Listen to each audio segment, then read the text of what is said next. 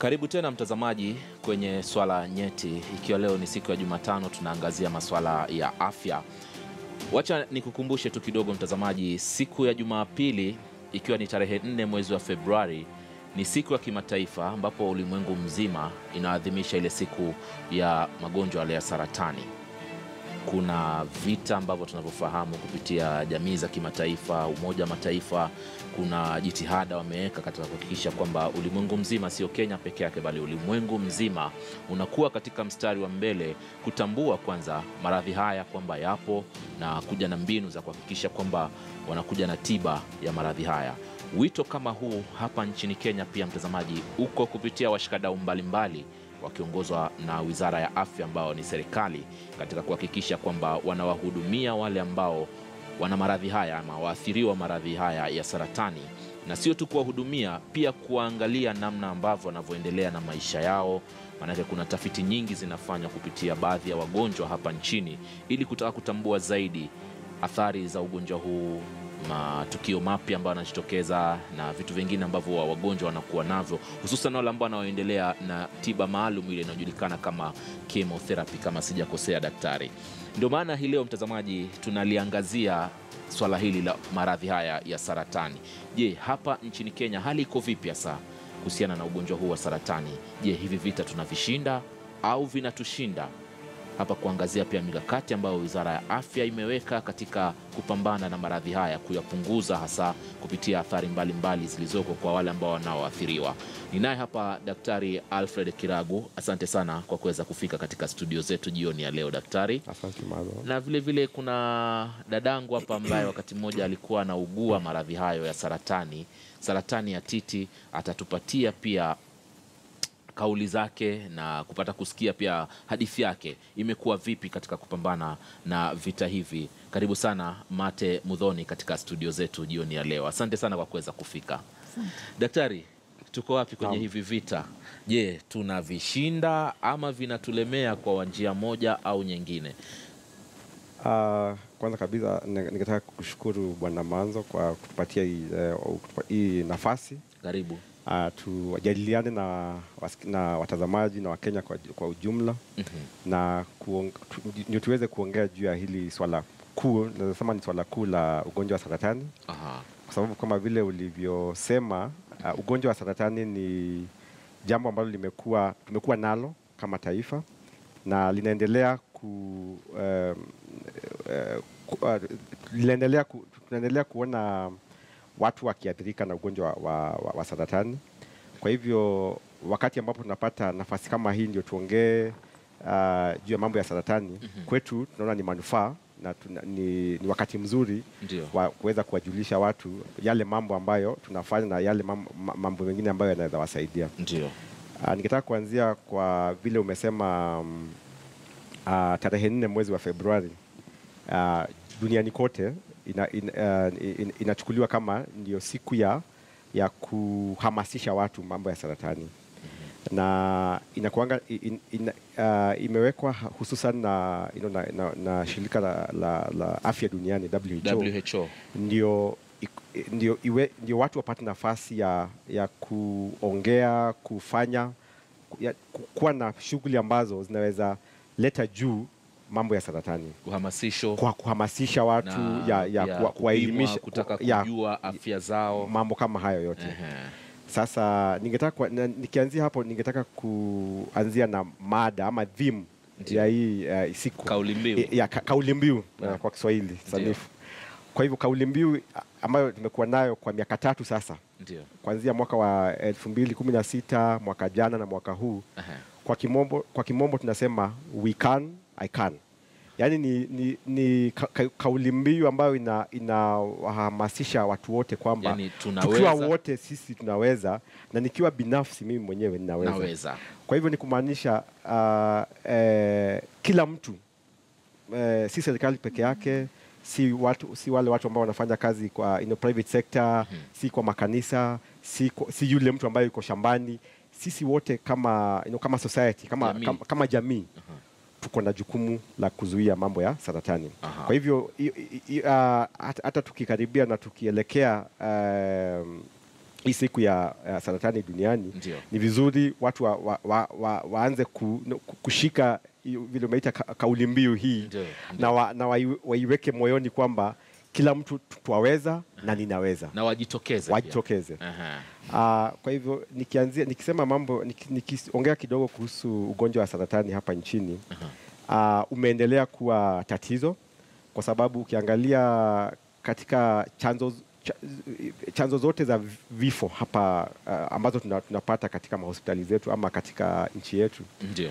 saratani kwa saa hii im- imeratibiwa kama ya tatu. Aha. Uh, ukiangalia uh, ya kwanza kabisa ni magonjwa ambayo ni ya kuambukiza ile tunaita infectious illnesses eh? Uh-huh. Alafu ya pili ni magonjwa ya roho. Kwa hivyo baada ya magonjwa ya roho uh, namba tatu, nambari tatu ni ugonjwa wa saratani Saratani. na inakisiwa kwamba eh, kwa, katika kila mwaka utapata uh, takriban watu elfu arobaini elfu- arobaini na moja wanagudu- wanagunduliwa kwamba wako na ugonjwa wa saratani Saratani.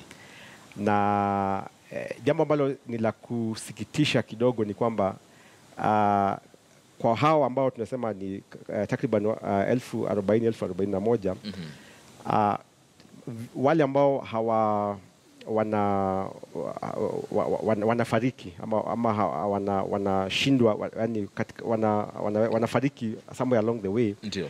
ni takriban uh, elfu ishirini na sita elfu ishirini na saba kwa hivyo hilo li- ni, ni, ni jambo ambalo linatukera sisi kama serikali kwa sababu uh, ukiangalia nchi ambazo zimeendelea western Ndiyo. world eh, Ndio. wako na uh, uh, kesi zao za saratani hata ni nyingi kutuliko, lakini ukiangalia uh, wale ambao wanafariki au uh, wale ambao wanapoteza maisha yao ni kiasi na proportion, yani kia- kiasi, kiasi chake ni Kiko chini. kiko chini. Uh -huh. na sana sana tuki, kulingana na utafiti wetu tumeona chanzo kubwa ya watu ya, ya vifo vingi ambazo kuwa vingi yeah. ni kwa sababu watu wana, wa, wa, wanakuja kwetu katika hospitali zetu am, wa- wakati ambapo eh, saratani imeenea. mm -hmm. Nikiguzia ki- kidogo uki, uki, uki, ukiangalia saratani vile tunaipima saratani inaweza ku, inaweza kuwa kiwango ya, ya chini na kiwango ya juu. Eh, ni, kwa kizungu tunasema stage one Kuna zile stages yes, labda stages, yes, yes, zitaja yes, stage yes, gani yes, yes. inamaanisha nini na Yes. stage gani inamaanisha nini? Yes. Kwa hivyo stage one inamaanisha kwamba uh -huh. saratani ndio imeanza Kwa sana sana hata iko uh, jambo jambo, jambo ambalo ninge- ningetaka mtazamaji aelewe ni kwamba saratani yaweza patikana katika kiungo chochote katika mwili. Kwa hivyo stage 1 inamaanisha kwamba saratani imeanzia katika hicho kiungo na iko tu hapo haija- haija- haijazegea Haijasambaa. haija- haijasambaa haija- haijasambaa kutoka kwa hicho kiungo.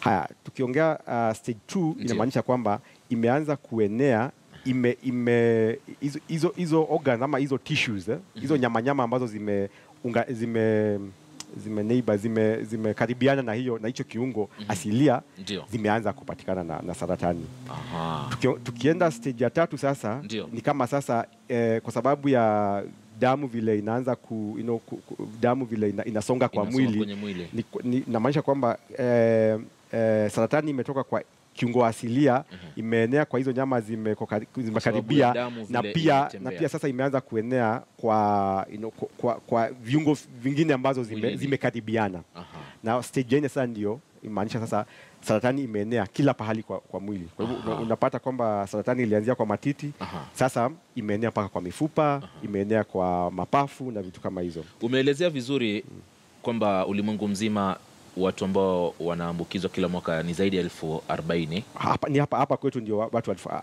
elfu arobaini. Ulimwengu mzima ni, kama, ni mamilioni, mamilioni. Yes, um, na idadi ya vifo pia iko juu zaidi hapa nchini ha, Kenya. hapa kwetu. Na, na ndio nilikuwa nalinganisha na- na- kwamba sisi tunapata vifo vingi kwa sababu wale, we, wale wa, uh, um, uh, wagonjwa wetu wengi wan, wanapata wanakuja kwa hospitali wakati ambapo imeenea. Ukiangalia mataifa mengine kama mataifa yale ambayo yameendelea -huh.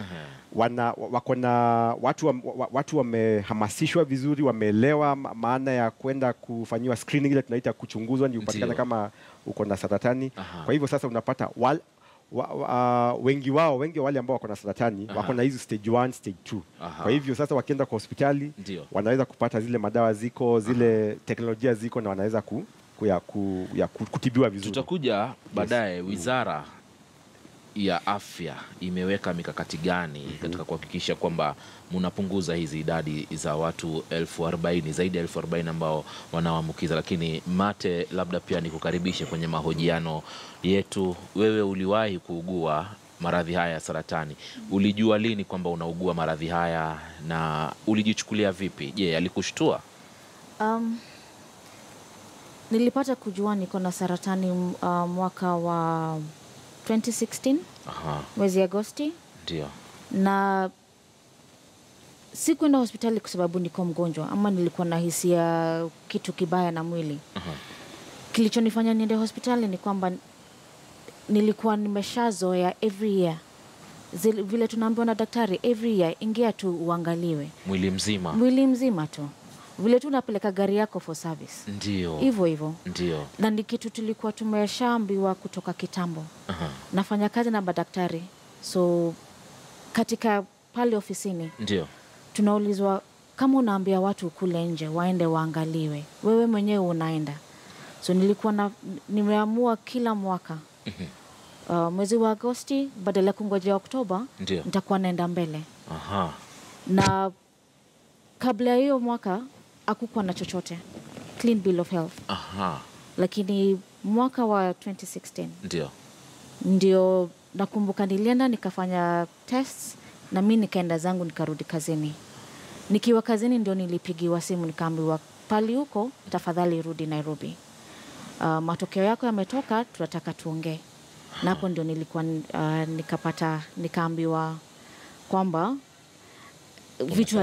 Kuna jambo tunaona, lakini tunataka kujua Zaidi. zaidi Aha. na wakafanya further test wakaconfirm. Uzuri wa kuwa niliingia Ndio. within a year of the last test Aha. ni kwamba ilishikwa ikiwa stage one. Nilikuwa na jambo kuuliza ulipata ukiwa katika iko katika stage gani? Ilikuwa stage one. Stage one. Yes, Ulishtuka? lazima unajua ka, kama sahii ukienda pale nje waambia mtu kona saratani, hata unaona uso unabadilika juu ni kama wanaona huu ni mauti anatembea. Washajua saratani ni kifo. Ndio, ndio, ndio. na kuifanya hata ikiwe um, kuhofisha yule daktari nilikuwa naye wa kwanza ilifika mahali ni, nilianza kuuliza hizo maswali. Uh, kama niko nayo inamaanisha nini? Uh, niko na Muda eh, kuishi? wa kuishi? Nianze kuandika wili yangu. Kaniambia unajua kwa tu na miezi sita ya, ku, ya kukaa. Aha. so nilitoka hiyo hospitali nikijua kisha mimi. Aha. lakini uzuri nilikuwa na support system very strong. Katikati ya marafiki zangu uh, watu wa kazini uh, familia tulikaa chini tukaongea. Nikatumia ile experience niko nayo ya ile kazi na, nafanya na nikaambiwa enda utafute second opinion Aha. enda uangalie daktari mwingine atakuambiaje -hmm. na yule daktari nilienda nikamwona eh, for the second opinion ndio aliniambia hapana ile stage uko nayo mm -hmm. it's treatable tunaweza fanya vitu mingi zinaweza um, fanya hii saratani ipungue kwa mwili mm -hmm. so nilianza dawa nilifanya upasuaji uh, oktoba bado same year 2016 Aha.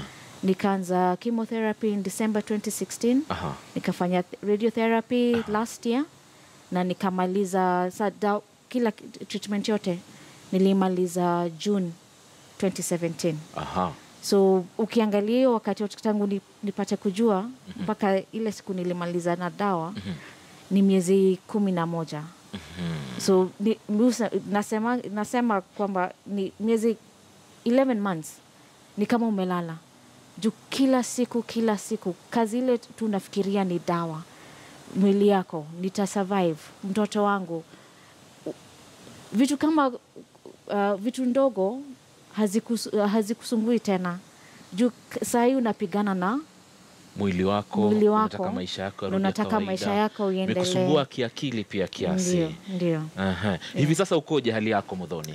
niko salama kabisa nimerudi kazini Aha. familia yaendelea Aha. eh. Ulijitolea vilivyo kupigana vita hivi, na marafiki, ndugu, jamaa wote wakakusaidia vizuri? support structure ndio ilitengen, ili, ili, ili make difference kutoka siku ya kwanza vile tuliambiwa kwanza tuliogopa but vile tulienda tukiuliza maswali tukitafuta madaktari Ndio. wanatupatia hiyo information Aha. Alafu bado pia unaenda unasoma. Aha. ndio ilifanya tuone hii kitu ni kitu naweza pigana nayo. Aha. na tumepigana nayo na, na si kitu napigana peke yako. Kansa si kitu ina, inadhuru uh, mwenye amegonjeka peke yake. Ndiyo lakini kila mtu ako kwa maisha yake familia yake Ehe. watu wa kazini Watu marafiki zake. kila mtu ameathiriwa. Aha. Yeah. Ni taarifa hiyo ya Mudhoni kuhusiana na namna ambavyo ugonjwa wa saratani umemwathiri. Alikuwa anaugua ugonjwa wa saratani ya titi, lakini anasema alijitolea mhanga, akapambana nao vilivyo.